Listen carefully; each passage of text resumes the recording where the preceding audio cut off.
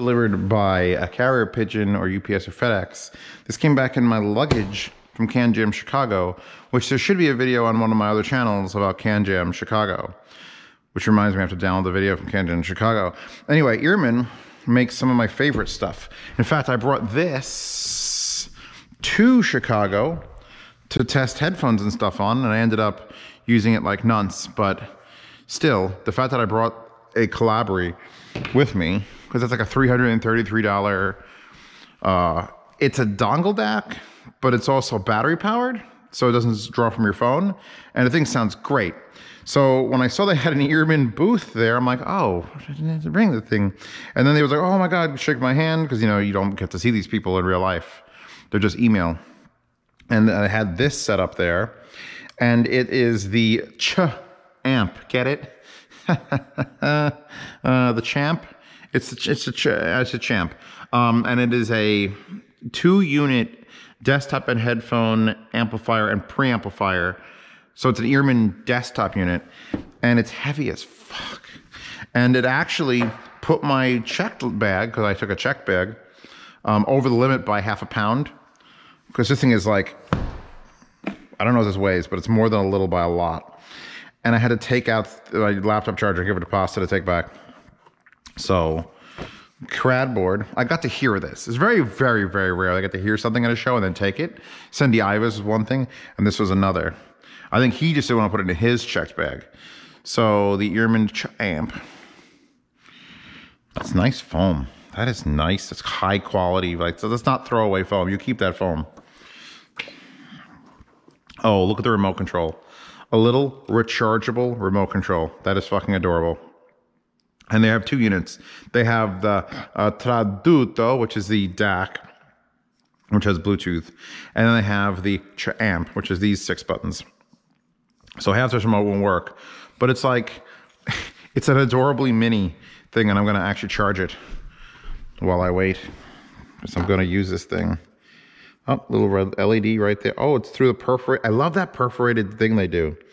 There's no hole. They just micro perforations which means there's many holes into the actual thing. Oh, it's all that foam. It's all that nice foam. Echo, Kitchen 100. Okay, here's the actual amp. God, it is just a, like the bottom is, the bottom feels like 1990s telecom component, which this, which is like galvanized steel.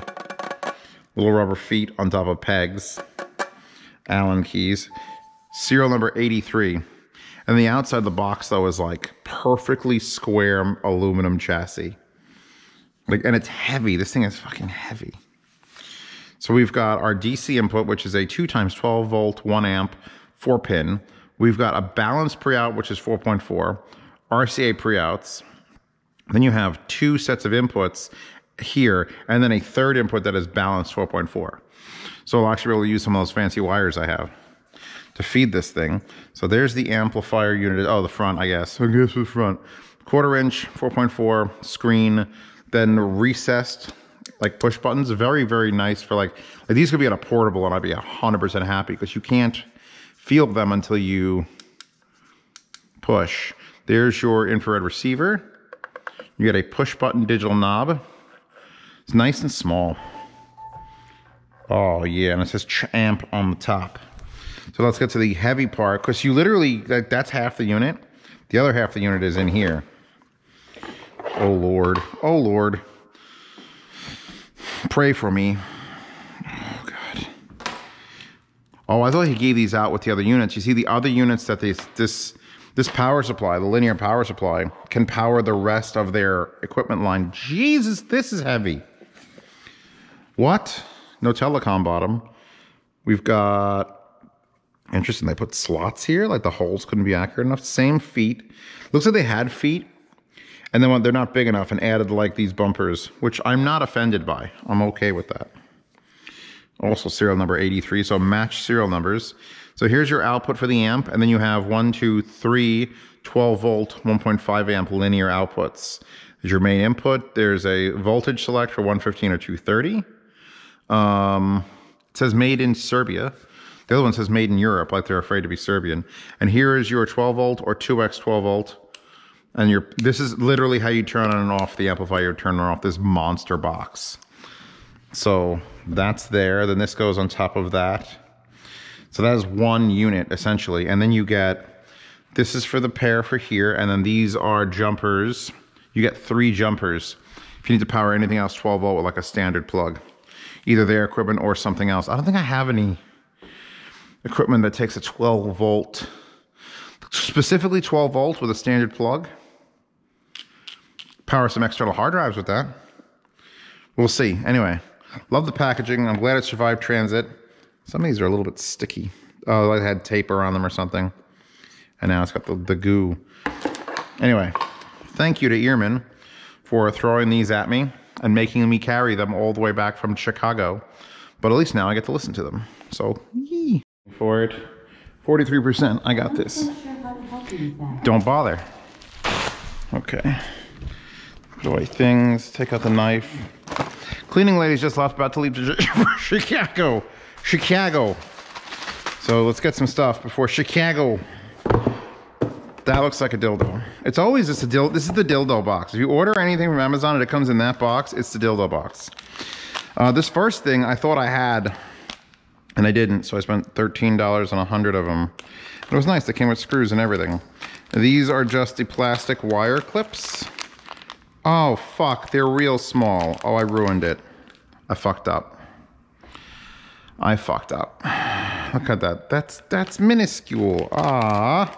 I mean, I could probably use them somewhere, but apparently I bought a hundred of them, good enough for like um, not even a mouse cable. That's fucking ridiculous. Uh, I was gonna hang the light wires in the basement with that. All right, well that's useless. I was gonna do it now. I'm getting ready to leave, but it's stupid. I need like big ones, like ones that'll handle like three eighths of an inch, like a centimeter wire. Ooh, I got my jumbo CO2 meter. So uh, watch Technology Connections. Pasta does not need to link it. I'm sure you're all following Technology Connections. And one of his patrons was like, hey, you might want to check out the air quality because using a gas stove can affect your whole house's like air quality. So using the vent is supposed to be all the time. And I'm, I'm interested to know because I have quite a large amount of air. Who is that guy? That's Dr. Kaz, PhD. Well, they don't give you a last name or it's dumb. Anyway, so I just want to know the air quality and a good basic measure of air quality is what's the CO2 percentage of the house. So I'll plug this in somewhere away from the stove, like over there. And because I don't usually run that if I'm just boiling water, but you're still burning fossil fuels inside. So it's taking oxygen, burning it, and going wherever. So it's going to be interesting to see. And this, I made sure I got one that could be powered via USB. Anything else I got to put on here? Look, a little template for mounting it on the wall. You have wall mounts all these nice open vents. I gotta get this to turn on, so I need, I guess a battery pack will do for now. Come with me, battery pack. Does it fake USB-C? No, it actually takes a weird proprietary connector on a 200 foot long cable, which is dumb. All right. Put here, put here, put here, battery battery low low battery. I mean this thing should be running like it's just a, a, light. It shouldn't or it's just like a meter. That shouldn't be low low power. Lithium ion USB and battery voltage input 5 volts DC charging cable included lithium ion oh it's charging does it have to turn it on is there an on button oh there's an on button so you can actually just have this not be on there it is Wow, that's clean. 420 YOLO swag, parts per million. Um, I could actually leave this like here. So it's this thing was sitting outside. We have a hot wind today, but look how nice that is. Happy, happy face. It goes to different faces of face. Oh God, that jumped up rather quickly to now 900.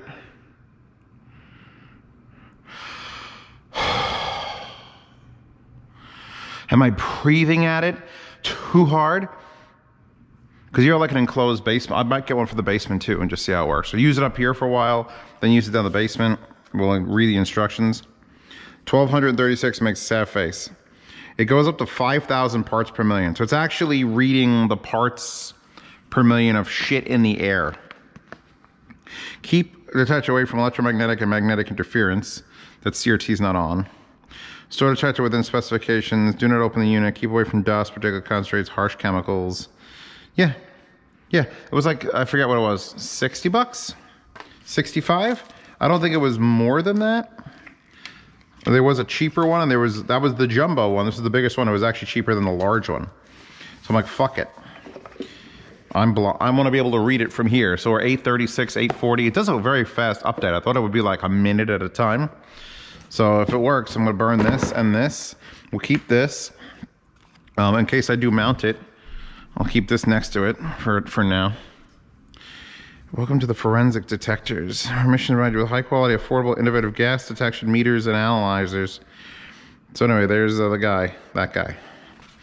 So yeah, uh, probably shouldn't run this off battery for too long, but uh, that's cool. What does the up and down do? Oh, that dims it. Oh, we get dimmable and brightable. We get, oh, we get to pick when happiness is and when sadness is. So 900 is the happy face. Anything above 900 is, is not happy face. Noted. Oh, I want to peel this off just for you guys. Oh, I hate what it does. Oh, it's doing the thing. It's doing the thing where it doesn't peel off the plastic covering. Oh, you bitch. Oh, it fuck it, it, it, it didn't do it. It didn't.